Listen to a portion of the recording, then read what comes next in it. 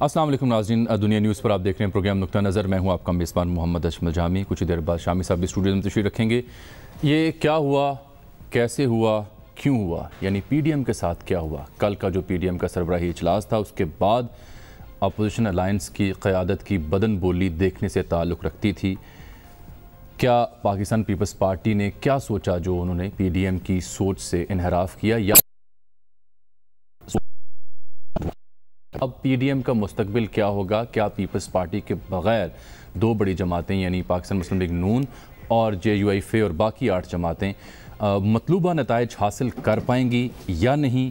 क्योंकि लॉन्ग मार्च और इस्तीफ़े तो अब एम के यहाँ से यूँ लगता है कि ख्वाब हुए।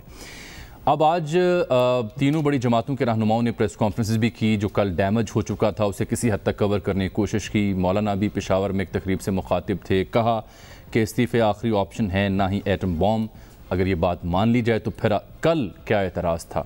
दूसरी जानब बाद शायद खकान नवाजी साहब की क़्यादत में लीगी वफ भी मुखातिब हुआ। आ, प्रेस कॉन्फ्रेंस के ज़रिए उन्होंने भी अपना नुक़ नज़र सामने रखा। प्रवेश साहब और पीपल्स पार्टी की क़्यादत भी प्रेस कॉन्फ्रेंस के ज़रिए आवाम से मुखातिब हुई।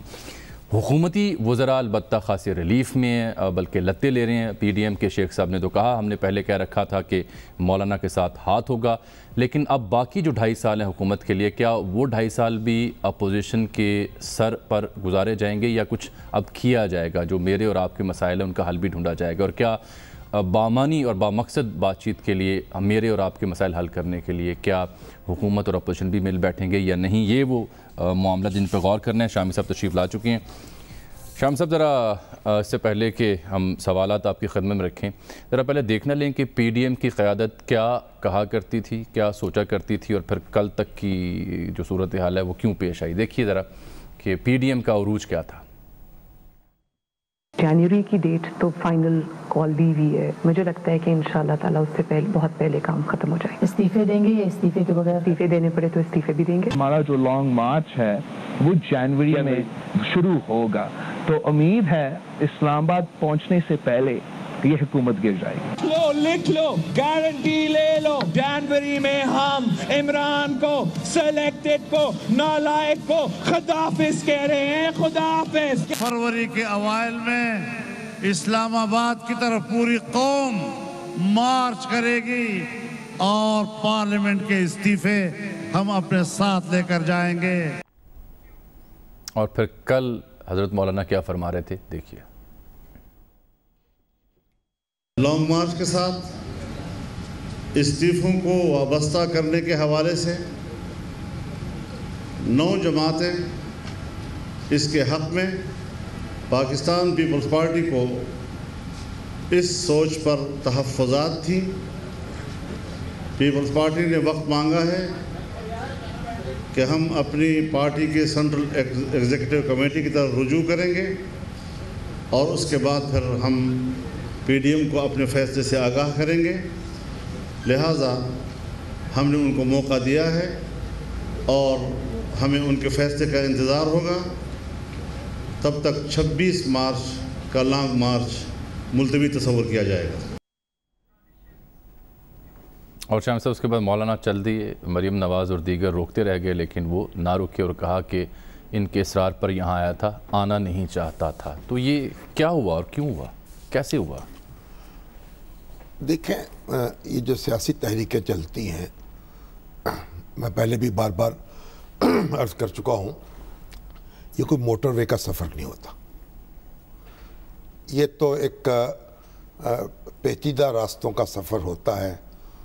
उसमें रफ्तार तेज़ भी होती है, मध्यम भी होती है। बाद का डिटेलमेंट भी हो जाती है कोई टायर पंचर भी हो जाता लेकिन है। लेकिन ऐसा वैसा टायर पंचर ये कोई मामूली टायर पंचर नहीं, तो नहीं इसमें ये जो कुछ हुआ है ना मेरा ख्याल है ये जज्बात में हुआ है।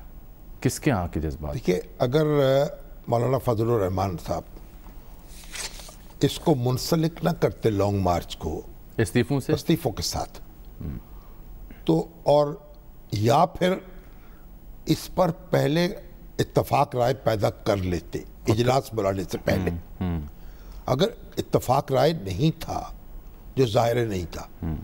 फिर इजलास बुलाने की ज़रूरत नहीं थी।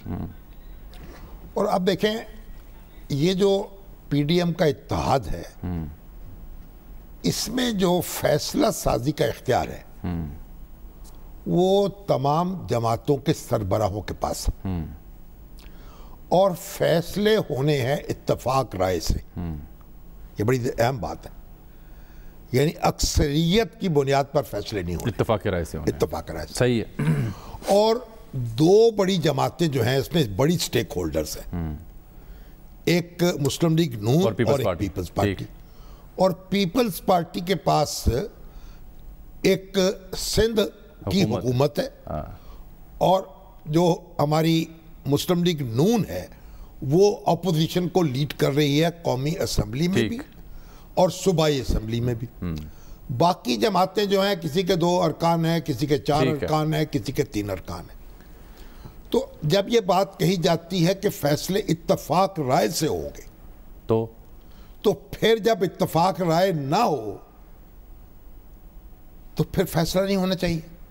फिर वावेला किस बात का? ये नैयर बुखारी सबसे पूछ लेते हैं सीनियर रहनुमा पाकिस्तान पीपल्स पार्टी देखिए, ये- जो- छोटी पार्टियाँ होती हैं बड़ी पार्टियाँ होती हैं बड़े स्टेक होल्डर्स हैं छोटे स्टेक होल्डर्स हैं जब आप अक्सरियत की बुनियाद पर फैसले नहीं करते पीडीएम में यह नहीं लिखा हुआ है कहीं? इत्तेफाक राय का लिखा हुआ इत्तफाक राय से फैसले सही होंगे। सही है। तो तो इत्तफाक राय पैदा करना चाहिए था इजलास से पहले और अगर नहीं था तो इजलास बुलाने की ज़रूरत नहीं थी। ठीक। और अगर इजलास बुला लिया था हाँ। तो फिर इस्तीफों के साथ लॉन्ग मार्च को मुंसलिक करने की ज़रूरत नहीं थी। और अगर लॉन्ग मार्च पे गौर होना था तो फिर कोरोना को नजरअंदाज करने की ज़रूरत वो नहीं तो हमेशा से किया गया तो देखिए पहले भी जलसे हुए। ये जो अब ये अगर सोचा गया अगर मौलाना फजल रहमान साहब ने या मरियम बीबी ने या उनके हम ख्याल लोगों ने सोचा कि हम अपना फैसला करके और एक पीपल्स पार्टी को दबाव में ले आएँगे या वो साथ चलने पे मजबूर हो जाएगी। तो ये तवक्को पूरी नहीं हुई। और। बल्कि हुआ ये कि जरदारी साहब ने जो गुफ्तगु की वो बहुत दूर निकल गए। और एक तलखी पैदा कर दी उस गुफ्तगु ने। अपने मौकफ का दिफा करते करते कुछ उनमें जारहियत भी आ गई। अच्छा। और फिर वो मीडिया तक बातें पहुंचाई भी गई। तो उससे फिर एक बदमजगी पैदा हुई। इसको अवॉइड किया जा सकता था। जो बेतदबीरी से या जल्दबाजी से या सही। जज्बाती पन से ये ये नुक्ते जरा अवॉइड नहीं की जा सकती। नैयर बुखारी साहब आपको खुश आमदीद कहते हैं सर प्रोग्राम में। पीपल्स पार्टी अलायंस से निकलने पर मजबूर हुई है या आ, आ, अपनी ख्वाहिश से मर्ज़ी से कोई ऑप्शन नहीं रही थी तो उन्होंने कुछ ऐसी हमत अमली इख्तियार की कि यूँ तासुर आया आपके जैसे peoples party P D M की हम ख्याल नहीं रही इस्तीफ़ों के मामले पर एटलीस्ट शुक्रिया जामी साहब। गुजारिश ये है कि जो बुनियाद पीडीएम की रखी गई थी वो 20 सितंबर अ, 2020 में रखी गई। और उसमें दो इम्पोर्टेंट डॉक्यूमेंट्स वो जब सात आठ घंटे की डेलीब्रेशन के बाद पार्टी हेड्स बैठ के फैसला किया। और जहाँ पे हमारे 26 पॉइंट्स थे जिसे हम डिक्लेरेशन कहते हैं और तमाम हेड्स ऑफ़ पार्टीज़ ने इसको साइन किया। उसके साथ हमने एक एक्शन प्लान भी दिया। और एक्शन प्लान की जो सीक्वेंस है वो सीक्वेंस मैं आपको बता देता हूँ। जी साथ निकाती sequence- एक्शन प्लान है बिल्कुल। उस सीक्वेंस प्लान से अगर पीपल्स पार्टी पीछे हटी हो तो फिर तो हम पे कोई ज़िम्मेदारी पड़ती है। अगर पीपल्स पार्टी आज भी कहती है कि हम पीडीएम का हिस्सा हैं पीडीएम का ऑब्जेक्टिव जो भी है वही पाकिस्तान पीपल्स पार्टी का ऑब्जेक्टिव है। वही हमारे ऑब्जेक्टिव हैं कि इस हुकूमत से आ, आप जिस एक्शन प्लान की निशानदेही फरमा रहे हैं उसका जो सातवां नुकता है सबसे अहम वो मैं पढ़ देता हूँ उसकी रोशनी में फिर आपकी खदमत सवाल भी आप इसमें लिखा गया है कि सिलेक्टेड हुकूमत की तब्दीली के लिए मुतहदा हिजब इख्तलाफ पार्लिमान के अंदर और बाहर तमाम जमहूरी, सियासी और आइनी ऑप्शन इस्तेमाल करेगी, जिनमें अदम अतमाद की तहारीक और मुनासिब वक्त पर असम्बलियों से इज्तमाही इस्तीफ़ों का ऑप्शन शामिल है, जिसके लिए एक खसूसी कमेटी तश्कील दी जा रही है, जो इसके लाहे अमल का तयन करेगी। तो ये क्या जो लिखा गया उस पर अमल हुआ? अगर नहीं हुआ तो फिर ये क्या दबाव यकसर अचानक आया आप पे इस्तीफे देने हैं? देखिए देखिए, आपने बड़ा क्लैरिफाई कर दिया जो हमारा ये जो पैराग्राफ सेवन लिखा हुआ है एक्शन प्लान का इसमें आप सीक्वेंस देख लें कि पहले तो जलसे थे प्रोविंशियल हेडक्वार्टर्स पे रैलीज थी और फिर ये लास्ट ये था और और, और जो हमारा रेजिग्नेशन का ऑप्शन वो लास्ट ऑप्शन है। उससे पहले नो कॉन्फिडेंस लॉन्ग मार्च भी है नो कॉन्फिडेंस भी है फिर ये।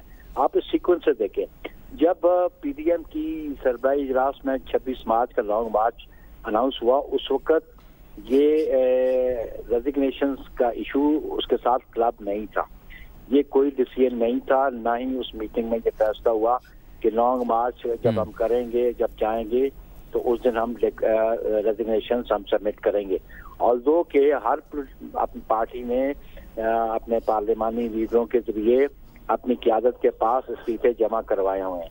और वो उस क्यादत के पास है और मुनासिब वक्त पे आपने खुद वो पढ़ दिया वो डिसाइड करेंगे कब हमने टेंडर करने हैं। तो इसलिए हम समझते हैं कि इस स्टेज पे आके जब कल की मीटिंग थी इस मीटिंग से पहले आप देख लें कि मौलाना साहब का मौकफ टेलीविज़न पे आया कि इस्तीफे देंगे लॉन्ग मार्च के अख्ताम पे या उधर पहुँच के।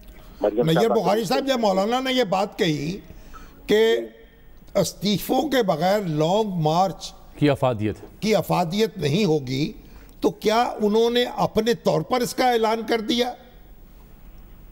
बिल्कुल ये ये ऐलान उन्होंने कल की मीटिंग से पहले कर दिया था। ठीक। आप आप आप देख लें इसको जो उनकी स्टेटमेंट्स हैं वो स्टेटमेंट्स कल की मीटिंग जिसने ये डिसीज़न लेना था उससे पहले आया। और जो पिछली मीटिंग थी जिसमें ये 26 मार्च का फैसला था उसमें कतन ये बात नहीं थी कि लॉन्ग मार्च के साथ हम इस्तीफे वहाँ पहुँच के टेंडर करेंगे। गोया यकतरफा तौर पर उन्होंने ऐलान कर दिया। देखिए अच्छा। हर पोलिटिकल पार्टी जो है वो अपना मौका बयान करने में खुद मुख्तार थी उसका इख्तियार है। लेकिन पाबंद हर पोलिटिकल पार्टी जो पीडीएम का हिस्सा है वो उस फैसले की पाबंद है जो मुतफिका तौर पे पीडीएम की लीडरशिप फैसला करती है। अब आप कहाँ खड़े हैं? करना। अब पीपल्स पार्टी कहाँ खड़ी है? अब पीपल्स पार्टी ने जो मौकफ लिया उनसे कि जब आपने पहले ऐलान किया था तो इस्तीफों को लॉन्ग मार्च के साथ आपने क्लब नहीं किया होता।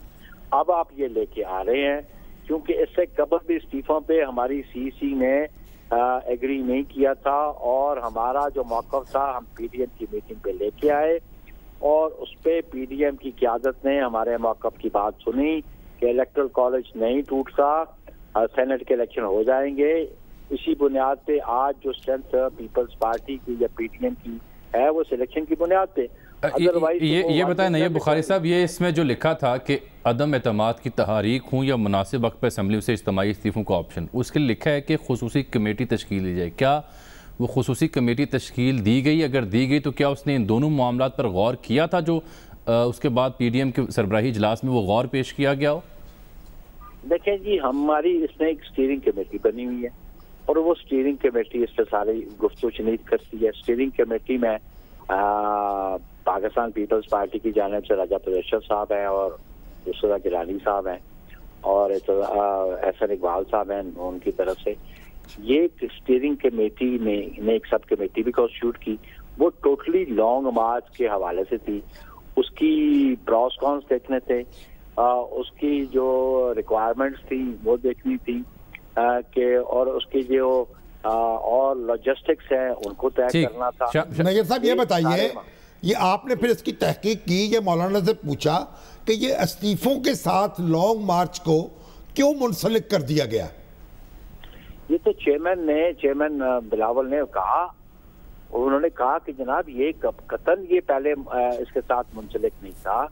और अगर आपने अब मुंसलिक किया तो हमें अपनी सीसी के पास जाना पड़ेगा कि मैं अ, अ, बतौर चेयरमैन तो अ, गोया इस्तीफों के- डिसीज़न नहीं कर सकता। आप इस्तीफों के बगैर लॉन्ग मार्च पर आप तैयार थे।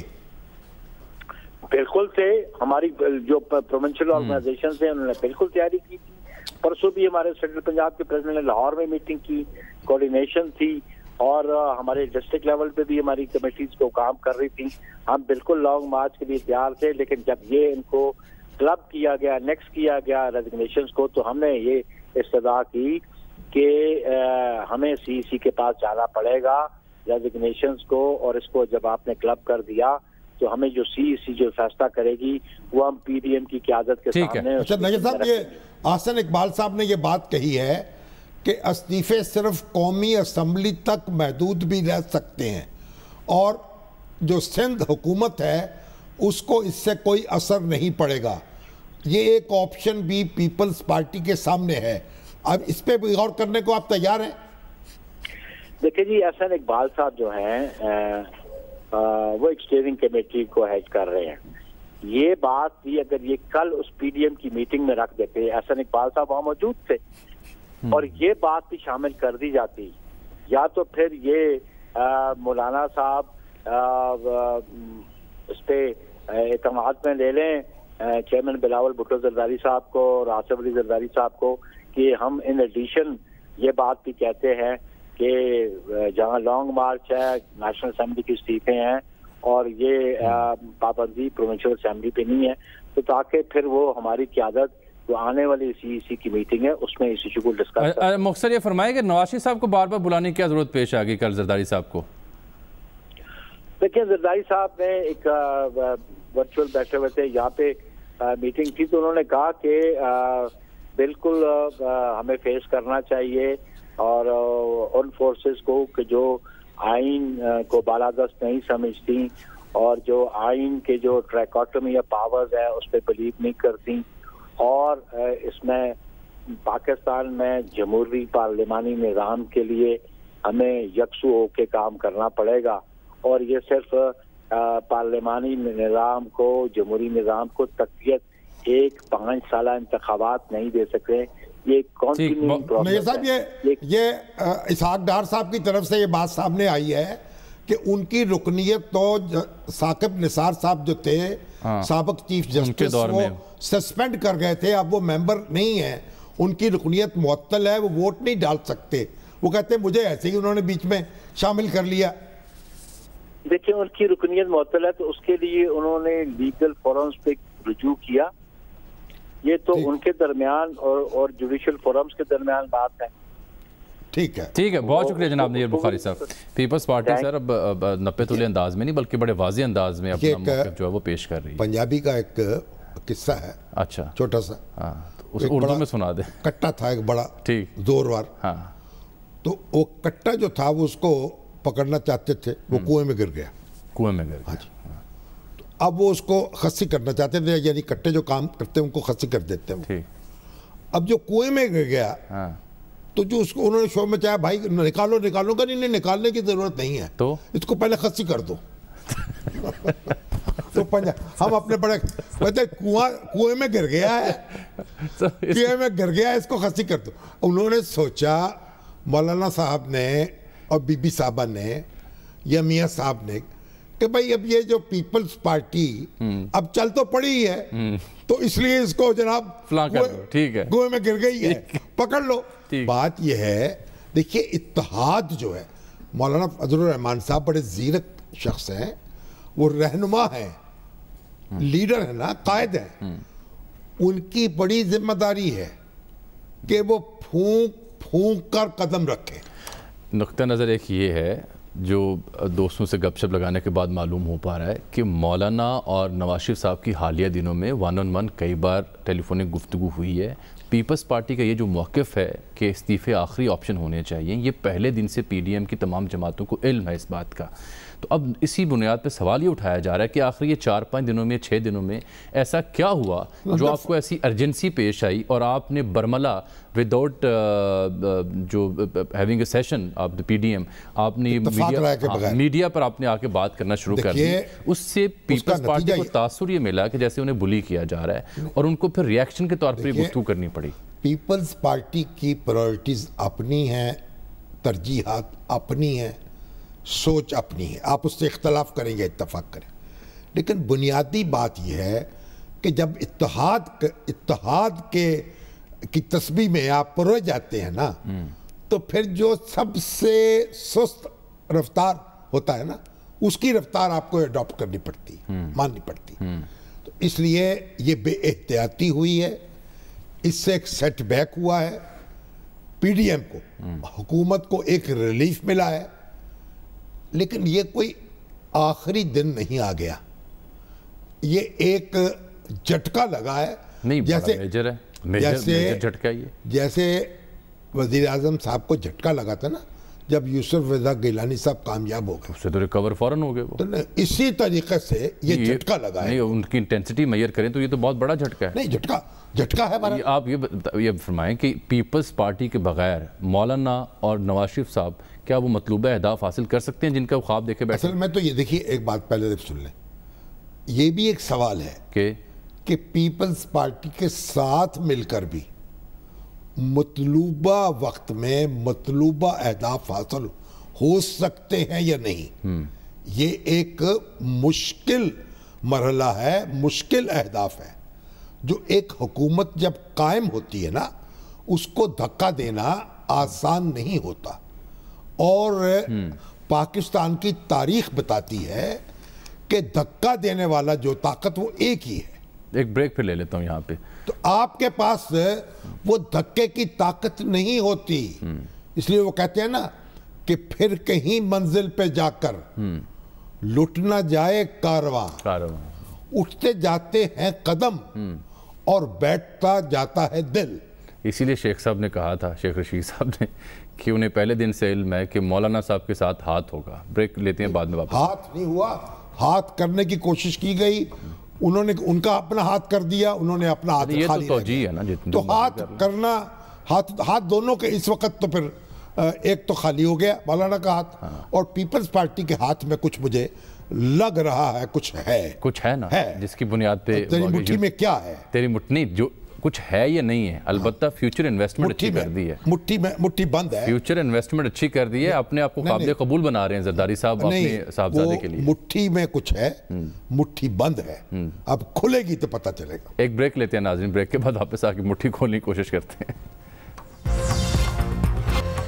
वेलकम बैक नाजरीन बात हो रही है पीडीएम की कि पीडीएम का वजूद अब क्या ख़तरे से दो चार है? पीपल्स पार्टी के बगैर पीडीएम क्या अहदाफ हासिल कर पाएगी? गवर्नमेंट के लिए अब क्या लम्हा फ़िक्री है क्योंकि पीडीएम तो उस हद तक लम्हा फ़िक्रिया नहीं रहा। हबीब अक्रम साहब का कल भी हमने ज़िक्र किया आज भी हमारे साथ टेलीफोन लाइन पर मौजूद है। आपको सर मौलाना- कहते हैं लेकिन शामी साहब कुछ कह रहे हैं पहले। सैयद सलमान सुलेमान नदवी। क्या फरमाते हैं? जी। हज़रत मौलाना सुलेमान नदवी के फर्जंद अर्जमन। क्या फरमा रहे हैं? जनूबी अफ्रीका में है हाँ। हमें देख रहे हैं। जी।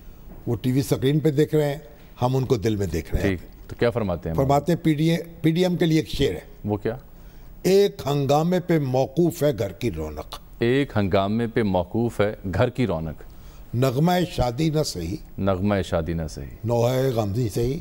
नो है गम ही सही। बहुत उम्दा बहुत उम्दा। तो ये हबीब साहब आप फरमाएँ पीपल्स पार्टी को मजबूर किया गया कि वो ये लाइन ऑफ़ एक्शन ऑप्ट करे या पीपल्स पार्टी अब प्लान के साथ इस कॉन्फ्रेंस में गई थी और इसके बाद अब पीडीएम का फ्यूचर आपको क्या दिखाई देता है? देखिए, जामी साहब, सबसे पहले अगर आप इसको देखिए कि पीडीएम दरअसल पीडीएम को प्रिसीडिंग एक एक्टिविटी हुई थी जो दरअसल ऑल पार्टीज़ कॉन्फ्रेंस के नाम पर खुद बिलावल भुट्टो जरदारी साहब ने की थी। और बिलावल भुट्टो जरदारी साहब की ये जो एपीसी थी, उसके नतीजे में पीडीएम बनी थी। तो पीडीएम में मजबूरी तौर पर पाकिस्तान पीपल्स पार्टी की हमत अमली ही गालिब रही है। बीच बीच में हमें ऐसे लगता रहा कि जैसे मौलाना फजल रहमान का बयानिया गालिब आ गया है या नवाज़ शरीफ का अंदाज सियासत जो है वो पीडीएम पे गालिब आ गया है और उसकी वजह बाहर मीडिया पे उनकी चूँकि ज़्यादा एक्सपोजर था इस वजह से ऐसा लगता रहा। लेकिन अगर फैक्चुअली आप देखें तो वो तमाम फैसले जो पाकिस्तान पीपल्स पार्टी ने करवाए पीडीएम से दरअसल वो पाकिस्तान पीपुल्स पार्टी की हमत अमली थी फ्रॉम द डे वन यानी वो चाहते थे ईवानों में रहना और ईवानों में रहने का फैसला खुद पीडीएम ने उसकी तोसीक की। उसके बाद उन्होंने जिमनी इंतबात लड़ने की बात की तो पीडीएम ने उसकी तोसीक की। सेनेट के इंतबात लड़ने की बात की तो पीडीएम ने उसकी तोसीक की। और पाकिस्तान पीपल्स पार्टी के सामने अगर आप पॉलिटिकली भी देखें तो उनके पास क्या ऑप्शन थी कि अगर नए इलेक्शन हो तो नहीं मगर हबीब साहब हबीब साहब जो भी तजावीज़ पीपल्स पार्टी की थी जब उन पर अमल किया गया तो उससे एक तहर्रुक पैदा हुआ। हुकूमत के लिए मुश्किल पैदा हुई और पीडीएम घाटे में नहीं रही। जी, बिल्कुल। शामी साहब आपने सौ फ़ीसद दुरुस्त बात की है कि वो तमाम तर तजावीज जो आसिफ अली जरदारी और बिलावल भुट्टो जरदारी की तरफ़ से कबूल की गई हुकूमत असल दबाव में उनकी वजह से आई। खा वो सेनेट का इलेक्शन था खा वो जिमनी इलेक्शन था हुकूमत की परेशानी दरअसल आसिफ अली जरदारी की तजावीज की बुनियाद पर ही बनी रही। ठीक। लेकिन यहाँ पर जो मौका था कि पीपल्स पार्टी को तैयार करने का मौलाना की तरफ़ से और नवाज़ शरीफ साहब की तरफ़ से उसमें एक यहाँ तक भी आया कि जो जैसे अभी शामी साहब प्रोग्राम के इब्तदा में बात कर रहे थे कि पीडीएम ने की तरफ़ से ऐसे पैगाम भेजे गए पीपल्स पार्टी को कि अभी आप जो आजादाना सियासत अंदरून सिंध में कर रहे हैं मौलाना फजल रहमान की पार्टी की तरफ़ से पैगाम भेजा गया कि वहाँ पे कई हलकों में हमारी दूसरे नंबर की सीटें हैं जहाँ पे हम और हत्ता के बिलावल भुट्टो जरदारी साहब के मुकाबले पे राशिद महमूद सोमरो साहब जो हैं वो भी बड़े तकड़े हैं। तो लिहाजा जब इस तरह की मैसेजिंग हुई तो काफ़ी तलखी पैदा हुई। मगर ये बताइए हबीब साहब अब आप देखते क्या है? ये तो मेरा ख्याल संभाल लेंगे। इस मामले को तो संभाल लिया जाएगा। सफ़र तो जारी रहेगा दोनों का इकट्ठे। शामी साहब शामी साहब पीडीएम के पास सवाई इकट्ठे रहने के कोई और चांस ही नहीं है। ठीक। और पीडीएम अभी टूटी नहीं है एक धचका है जिसे लोग ज़्यादा ओवर रीड कर रहे हैं। और आपने जो प्रोग्राम के इब्तदा में बात की जो सियासत के आदाब आपने बताए अगर पीडीएम उस पर चलती रहती तो शायद आज ये डिबैकल भी ना होता। ठीक। ठीक है बहुत शुक्रिया जनाब हबीब अकरम साहब। अब गवर्नमेंट के लिए क्या करने को वो तो शादियाने बजा रहे गवर्नमेंट तो रही साहब के बयान उस शेख साहब का फवाद चौधरी साहब गवर्नमेंट- फवाद साहब से हमने बात करी थी हो नहीं पाई। गवर्नमेंट कर रही थी अपोजिशन की अपोजिशन अब यही काम उसका जारी अब उसको चाहिए जो उसको एक सांस का वक्फा मिला है ना अब वो हुकूमत की तरफ़ तवज्जो स्पीकर कौमी असम्बली को खत तो लिखा है स्पीकर को खत लिखा है कि पार्लिमानी कमेटी पार्लियामेंट के इलेक्टोरल रिफॉर्म्स की जाएँ। मगर शाहिद खाकान अब्बासी साहब ने उसको हवा में उड़ा दिया है स्पीकर पर भी तनकीद की है वज़ीर आज़म पर उन्होंने संजीदगी का मुजाहरा नहीं किया। और हम इसको कोई नोटिस नहीं लेना चाहते। ये कोई संजीदा मामला नहीं है।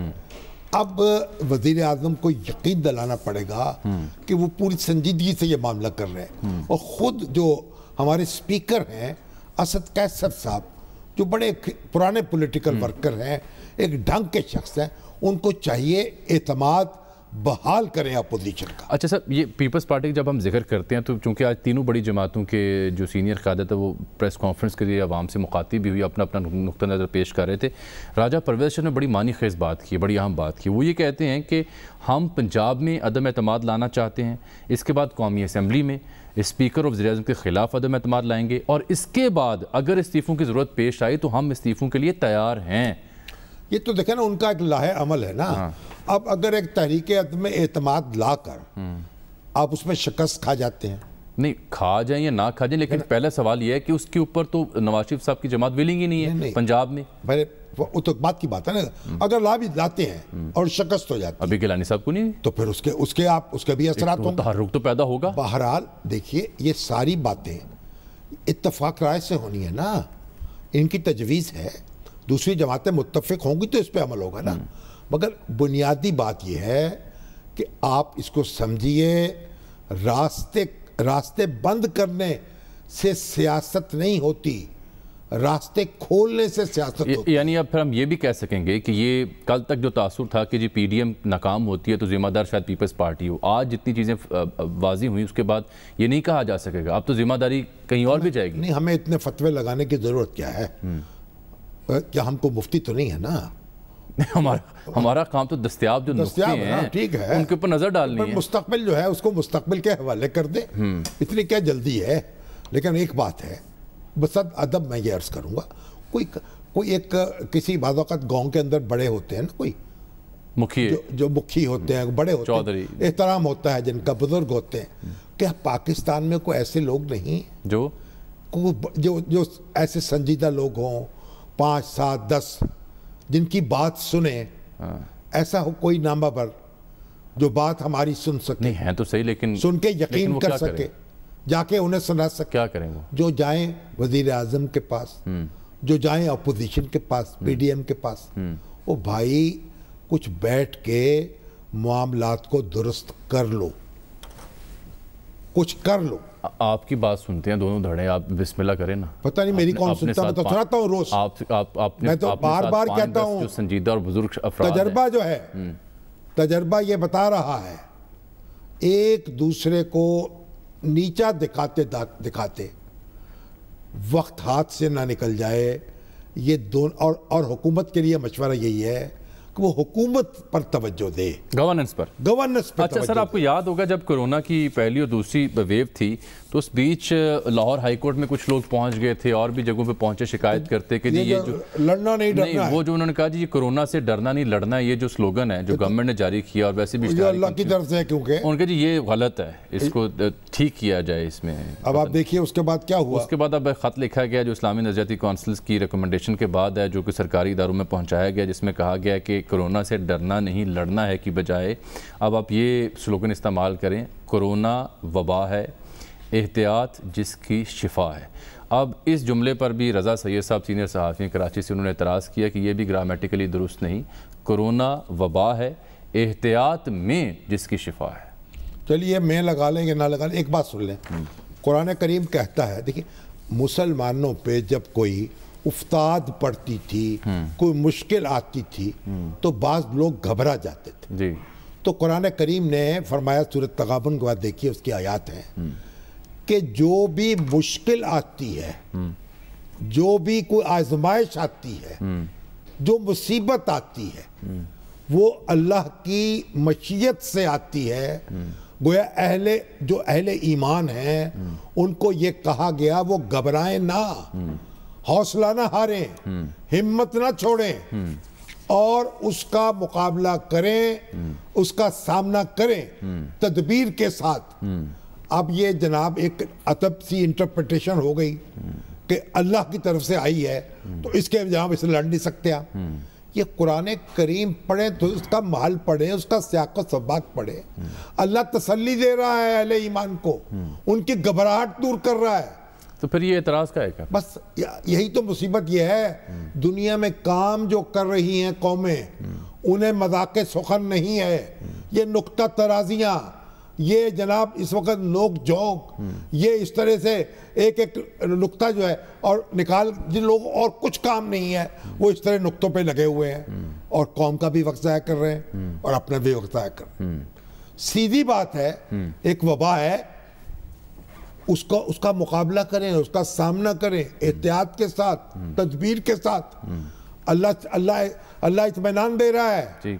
इसको इससे तुम्हें शफा होगी। घबराओ मत। अच्छा अच्छा सर इससे पहले कि मैं ब्रेक लूँ अभी हमें अदनान रशीद साहब ने लाहौर से सवाल भेजा है सोशल मीडिया के जो पूछें शामी साहब से ये पूछें कि ये जो कल का पीपल्स पार्टी का फैसला और जो पीडीएम के साथ जो कुछ भी हुआ उसका फ़ायदा अपोजिशन की किस सियासी जमात को ज़्यादा होगा? ये देखिए अपोजिशन की उस जमात को ज़्यादा फ़ायदा होगा जो फ़ायदा उठाने की सलाहियत रखती है। फ़ायदा उठाने की? सलाहियत रखती है। अच्छा और वो वो फ़िलहाल तो हमारी जो बहन है मरियम हाँ। भतीजी भी हैं। हाँ। मरियम को एक नोटिस आ गया है नैब का। नैब पहले तो गई थी उनकी बेल मनसूख कराने के लिए। फिर किसी ने मशवरा दिया होगा कोई नया नोटिस जारी कर दो इस किस काम में पड़ गए हो। तो उन्होंने एक नया नोटिस जारी कर दिया ये चौधरी शुगर मिल के अंदर आपसे तफ्तीश करनी है। और इस तरीके से इसका मतलब फ़ायदा तो फिर पीपल्स पार्टी उठा सकती नहीं असल में दो मुझे तो दोस्त कहते हैं कि ये पी, पी, ये पीटीआई का जो कारनामा है ना एक इस हुकूमत का और नैब का वो ये है कि मरियम नवाज़ शरीफ की क़यादत को ये स्ट्रेंथन करते जा रहे हैं। ये इस पर ये इनका कारनामा चले एक ब्रेक आ गई नाजनी यहाँ पर प्रोग्राम मिलते हैं आपसे इस ब्रेक के बाद। आज के प्रोग्राम में नाजरीन इतना ही। आपसे मुलाकात कल तब तक के लिए इजाज़त। अल्लाह हाफिज़।